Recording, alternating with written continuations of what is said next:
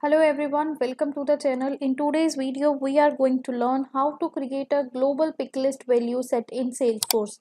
And we are going to learn this concept for both Salesforce Lightning as well as the classic interface. So let's proceed and firstly understand what does we mean by a global pick list values in Salesforce.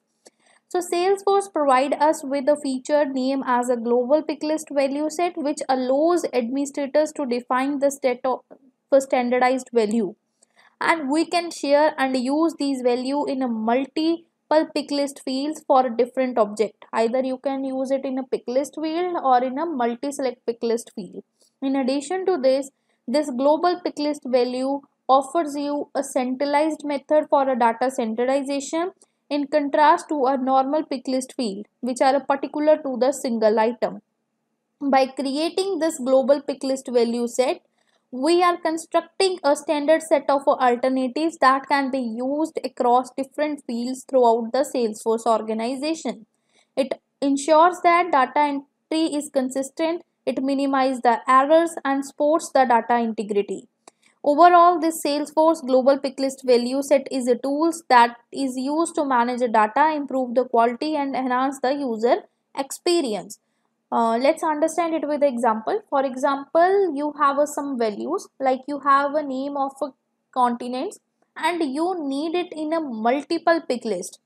So you are not going to create up again and again these pick list values. We basically create up the global pick list value and we can use in a different pick list fields or a multi-select pick list field. So now let's proceed and learn to create a global pick list value set in Salesforce Lightning. So your first step is to log in into a Salesforce account as an administrator. Once you successfully logged in, make sure that you are in a Lightning interface. If you are not in a Lightning one, firstly redirect to the Lightning interface.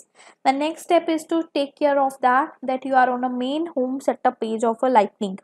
If you are not on that, click on the gear icon that is given on the top right side and click on the setup option. Once you click on that it takes you to the page uh, for main home setup lightning interface. So once you reached on a main home setup page you will see a quick find box on a left side. Here on the quick find box you need to search for the pick list value set. And once you type this thing in a quick find box you will get this option under objects and field category and here you need to click on that pick list value sets. Once you click on that it will take you to the page where you can set up the pick list value set. Basically these are the global pick list value sets in a salesforce. Now you can see that it write it as a global pick list value set. Let you share the values across a different object.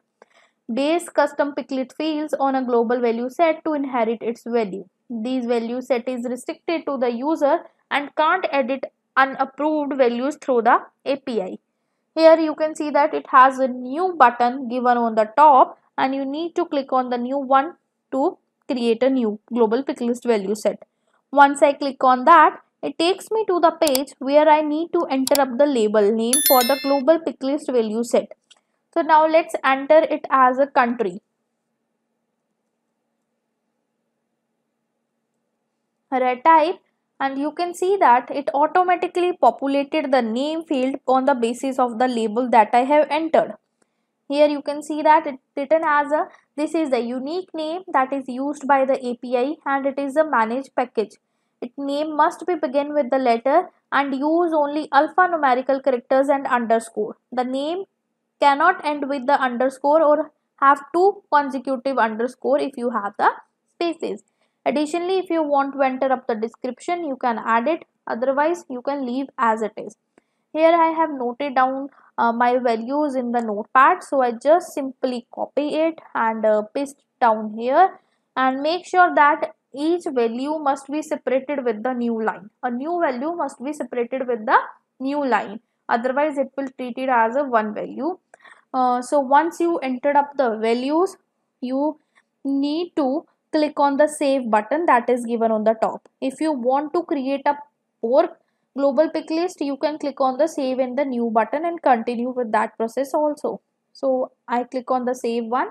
Once on I click on the save button, it successfully created up a new global value set you can see that named as a country and these are the values that I have entered in this.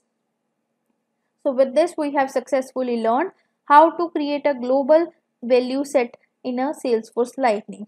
Now we will proceed and learn to create a global pick list value set in Salesforce Classic.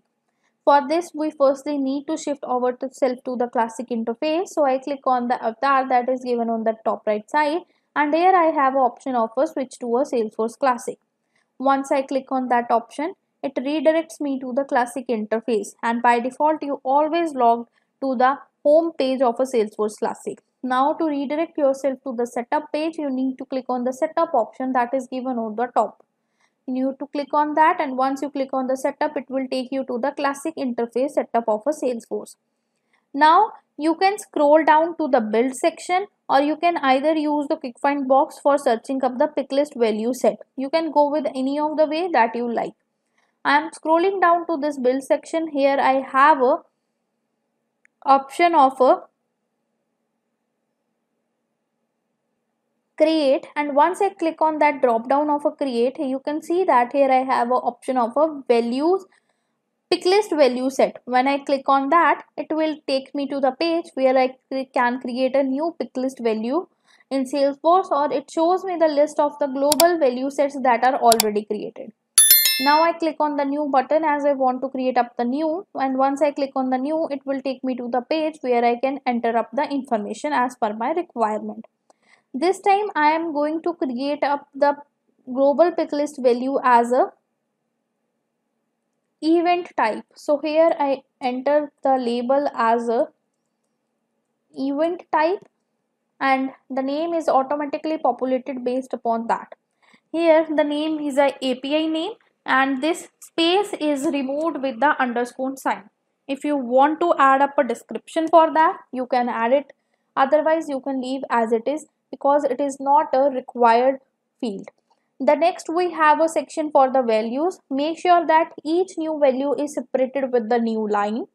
And here I have entered up my some values and uh, after entering the value you need to click on the save button. Once you click on the save button it successfully created up a new global value set in Salesforce Classic name as an event type and here are the values that I have entered in it. So with this, we have successfully learned up how to create up a global value set or a global pick list value set in Salesforce Lightning as well as a classic interface. If you like this video, click on the like button and also subscribe to our channel for more videos like this one. Thanking you for watching and have a great day.